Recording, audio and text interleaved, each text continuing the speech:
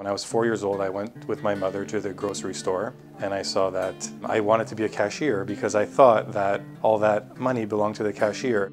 I like to try new things. I've done rock climbing, salsa dancing. Recently I've discovered painting. Uh, I went to Paint Lounge and loved it. I was so focused and just enjoying myself. I painted an abstract art piece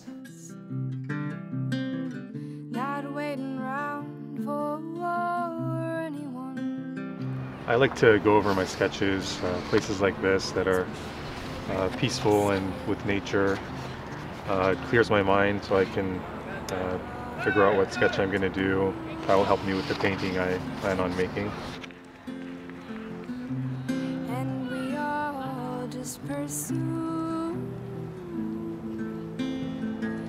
I'm very proud of it. People may look at it, you know, not very impressed, but it's my art and I love it. I plan on making many more and having them all over my place. Painting is similar to this field in the sense that with your clients, each client has a different need and in order to meet their need, you sometimes have to be creative and think outside of the box. Uh, my name is George Pharmakides and I am an articling student at Orange LLP. By so many things